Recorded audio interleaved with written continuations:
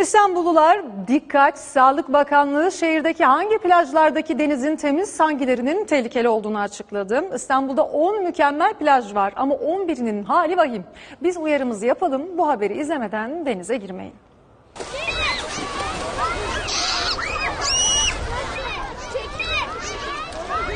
İstanbul'un deniz suyu sınavdan geçti. 10 plajın notu mükemmel. 60 plajda durum gayet iyi. 11 plajınsa hali vahim. En büyük alarmsa adalarda.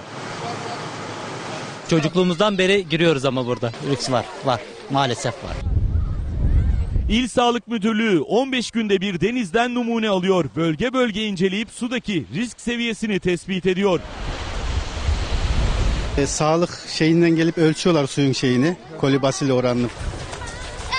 Çocuklar yön- yönünden burası güzel. Analizde derecelendirme kötü, iyi ve mükemmel olarak yapılıyor. Sudaki koliform bakterilere bakılıyor. 100 mililitre deniz suyunda 500 ila 1000 koliform yani bakteri insan sağlığı için kabul edilebilir düzeyde. Burada yani Bakırköy'deki Yeşilköy plajında bu rakam sınırın çok üstünde. Şu vaziyete baksanıza hep e, yosunlar, e, kokusu var. Ama o zaman bir daha gelmeyiz.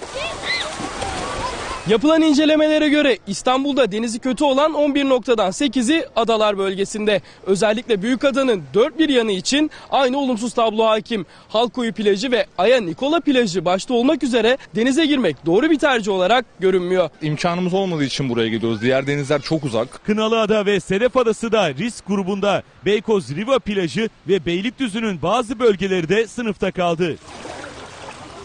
Verilere göre Silivri, Büyükçekmece, Tuzla ve Şile'deki halk plajları denize girmek için en uygun yerler. Derecesi mükemmel.